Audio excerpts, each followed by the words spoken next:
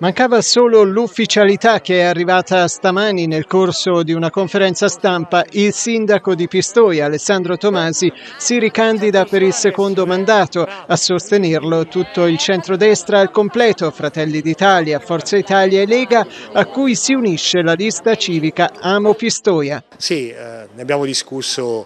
con tutte le forze politiche, le associazioni, le liste civiche con cui abbiamo fatto questi cinque anni di lavoro intenso e, abbiamo deciso di, di, di continuare quest'opera, finire quello che abbiamo iniziato e stiamo mettendo a punto anche un programma per come immaginiamo Pistoia nei prossimi 10-20 anni. Grandi sfide,